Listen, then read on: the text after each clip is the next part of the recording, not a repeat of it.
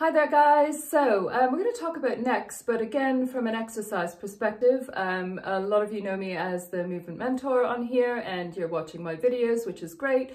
But uh, the other work that I do is as a Pilates teacher. And one of the things that comes up really commonly with Pilates and any uh, mat-based exercise is if we're in a forward head posture and we're going to lift the head up to do exercise on the mat, a lot of people really struggle with that.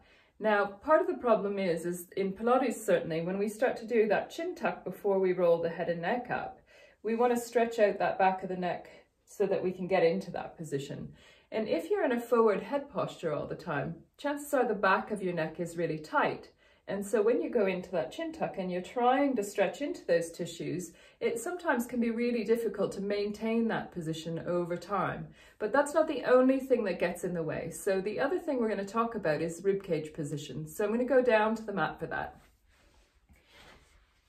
So generally our basic starting position is knees bent and feet flat and arms just down at the sides. Now, in this instance, what I'm going to do is put my thumbs at the rib cage, my fingertips down to the hip bones. And so if I was to lift my head up from the mat, I'm going to do my chin tuck and I'm going to roll up. What you might be able to see there is that my fingertips and thumbs got a little bit closer together. So if you just watch as I go down, that space opens up. I can now feel like I'm really stretching there. Now when I come up, the rib cage is moving down again. And so if our rib cage is stuck in an upright position, uh, more upward position rather, and we're flaring at the ribs, then our abdominals are already on quite a bit of stretch.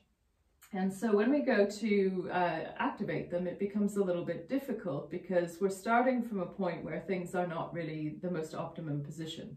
And so if you have trouble with your neck when you're in these positions, Practicing on your own time is great, but just working on tucking the chin and rolling up and trying to get the rib cage to slide down because if we can get that rib and hip connection there, then the neck can relax a little bit. The other thing that I see is often people start into the lift and then tuck afterwards. And so what ends up happening is you're bypassing some of the deeper neck flexors and you're then using the superficial ones.